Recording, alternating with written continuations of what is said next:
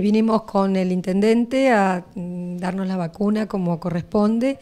Eh, nosotros comenzamos primero, que la etapa termina hoy, que es con las personas de, riesgo o de alto riesgo, que es necesario que se den la vacuna antes, ya sea como las mamás embarazadas, las personas mayores de 65, las personas que tienen enfermedades eh, que coronarias y enfermedades que ponen en riesgo su vida si no se dan la vacuna. Así que ahora, a partir del día de mañana, comenzamos en la Plaza Mitre a hacer eh, una campaña generalizada en todo el territorio con la vacuna antigripal, es importante que se den la vacuna, eh, porque es una manera, toda la vacuna es, es prevención. Vacunarse es, prevenir enfermedades y si lo hacemos, si lo sostenemos en el tiempo, vamos a tener siempre una población saludable. Así que los invito a los vecinos que se acerquen. Tenemos eh, todos los centros en cada zona, tanto zona 1, 2 y 3.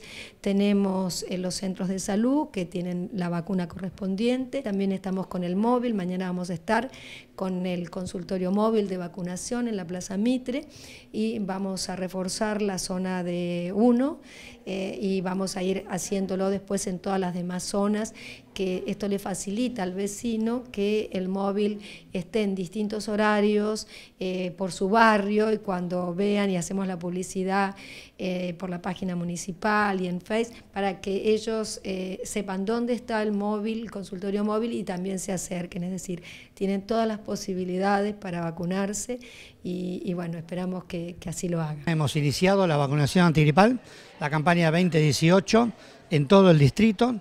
Nosotros este, disponemos de un total de 22 vacunatorios contando el móvil de vacuna, con lo cual este, los vecinos tienen la posibilidad de acceder a la vacunación sin ningún inconveniente, en horario de mañana y tarde.